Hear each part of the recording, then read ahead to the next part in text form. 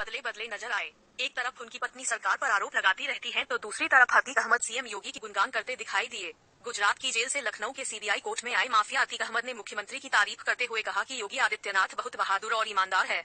वह बहुत मेहनत कर रहे हैं। अतीक अहमद को गुजरात के साबरमती जेल से कल रात ही लखनऊ लेकर आया गया था। बसपा से विधायक रहे राजू पाल की हत्या का आरोप अतीक और उनके भाई अशरफ पर है। गुरुवार को उन्हें सीबीआई की एंटी करप्शन कोर्ट में पेश किया गया। पुलिस वेन में बैठे अतीक से मीडिया कर्मियों ने सवाल पूछा तो वह सीएम योगी का गुणगान करने लगे। अतीक अहमद को गुरुवार को लखनऊ के एंटी करप्शन कोर्ट में पेश किया गया। अतीक अहमद हाथ हिलाते हुए और हँसते हुए पुलिस वेन से नीचे उतरा। उसने अपने समर्थकों का अभिवादन किया। मीडिया से बातचीत में अतीक ने कहा कि योगी आदित्यनाथ जी बहुत बहादुर और ईमानदार मुख्यमंत्री हैं। बहुत मेहनत कर रहे हैं।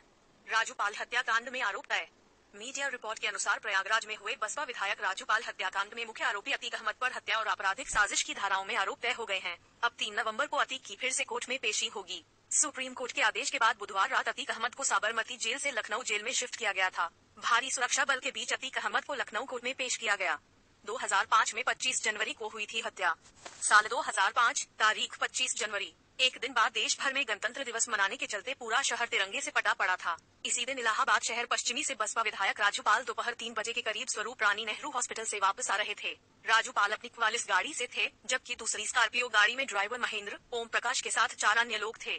क्वालिस चला रहे राजू पाल के साथ वाली सीट पर उनके दोस्त की पत्नी रुखसाना बैठी थी, जिन्हें चौपटका के पास से राजू ने गाड़ी में बैठाया था। इसके अलावा राजू के साथ संदीप यादव व देवीलाल भी गाड़ी में पीछे बैठे हुए थे।